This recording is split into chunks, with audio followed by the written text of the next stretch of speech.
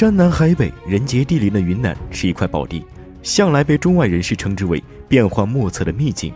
以它的美丽、富饶、神奇著称于世，让无数游人至此流连忘返。云南给人最深的印象一直都是风景优美的旅游胜地，而旅游业也确实是云南的一大支柱产业。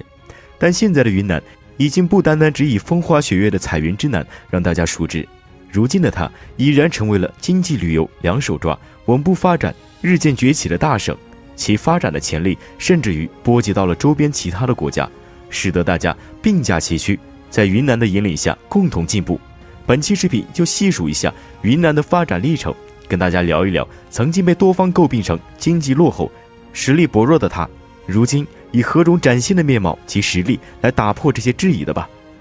欢迎来到地球记，我是阿聪。喜欢我的视频，辛苦点赞加关注。云南省地处我国的西南边陲地区，总面积达到三十九点四十一万平方公里的它，有着全国最长的边境线。从国内来看，云南的东部与贵州、广西相连，北部与四川为邻，西北部又紧紧挨着西藏。从国外来看，云南的西边和缅甸接壤，南面则是老挝、越南。以前的云南受到各方因素的制约，人民的生活水平落后，经济总量低下。全省 GDP 总值和人均 GDP 在全国一直处于吊车尾的存在，发展前景一片黑暗。要谈及云南的发展历程，首先离不开的就是它独特的地理条件和地势地貌。云南虽被发现了中国及亚洲最早的人类元谋猿人，历史悠久，是重要的发祥地之一，但纵观中国古代史演变进程，云南却一直处于不温不火的状态。这个由河流、山脉、峡谷割裂开来的地域，多高原，多山地。地势呈现出西北高、东南低的走向，最高点是怒山山脉里的梅里雪山主峰卡瓦格博峰，海拔六千七百四十米；最低点则是南溪河与红河交汇的中越界河处，海拔才不过七十六点四米，差异甚大。而绝大部分地区均处于中海拔区域的云南，可供农业发展的土地不多，且互相之间的自然阻隔明显。古时中国又没有媲美西方的工业手工业。主要还得依赖农作物的种植来维系经济发展，像云南这种不适合投入大把精力发展农业的地域，自然得不到专权统治者的重视。加上崇山沟壑的不易管制，所以它在历史上没有企及具备典型南北方特色省份的灿烂史诗。用平平无奇的低存在感形容它，再合适不过了。不过，云南基本属于亚热带高原季风性气候，年温差小，干湿季节分明，降水量丰富，加上全省河川纵横，湖泊众多。完全不缺乏水资源，种种有利的条件让云南并不像别的高山峻岭般人烟稀少，一直都不乏人类居住。截止到二零一九年末，云南省常住人口四千八百五十八点三万人，比去年同比增长了二十八点八万人。云南也是中国民族最多的省份，包括汉族在内，共有二十六个民族聚集于此。少数民族人口数达一千六百二十一点二六万人，占全省人口总数的百分之三十三点六。既然有人居住，那发展就是必不可少的了。虽然云南不适合发展第一产业，但它那巍峨绵延的山峰、孕育生命的雨林、川流不息的江河以及静谧旖旎的湖泊，都是别处羡慕不来的珍贵资源。云南的动植物种类数为全国之冠，素有“动植物王国”的美誉，各种珍稀的动植物资源皆于此地，加上各种令人啧啧称奇、叹为观止的奇观与绚丽多姿的优美景致，让这里完全成为了一个得天独厚的聚宝盆。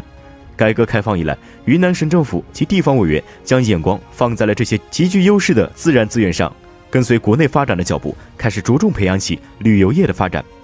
上世纪七十年代以前，云南给人的印象就是薄弱的经济实力、落后的生产水平，以及穿插于群山峻岭之间的村庄小屋。在地方政府高度重视第三产业的发展后，云南旅游业历经了从接待事业型到一般产业型，再到支柱产业型的演变与升级过程。实现了从无到有、从小到大的历史性飞跃。独特的地形地貌及多样的物种资源吸引了中外游客的大批涌入，而云南也依靠第三产业的高速发展，开始逐步增添第一、第二产业比重，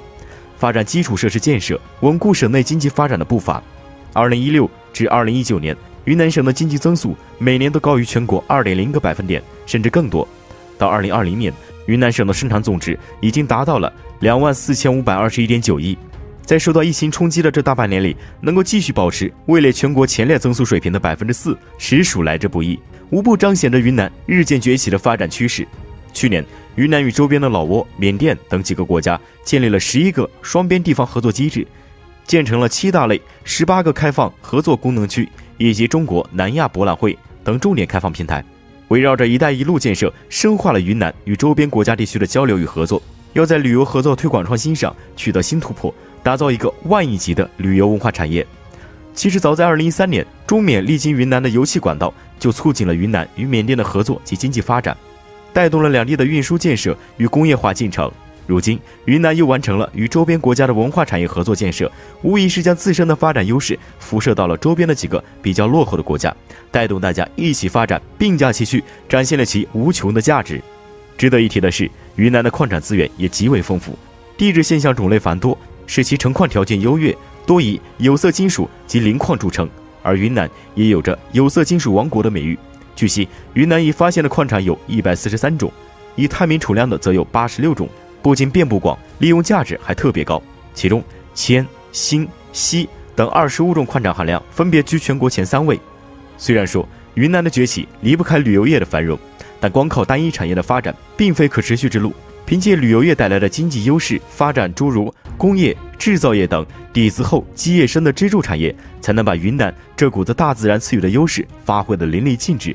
而事实证明，云南也在努力寻求不同的发展出路。在众多有利方面的加持下，云南的崛起已是必然趋势。作为全中国潜力最大的省份之一，未来的云南肯定能在高质量跨越式发展之路上越走越远，并带动周边国家。共同繁荣，成为当之无愧的中国大省、世界强省。好了，今天的视频就到这里，喜欢的观众记得点个关注，不仅可以接收最新的内容，还可以收看往日的精彩哟。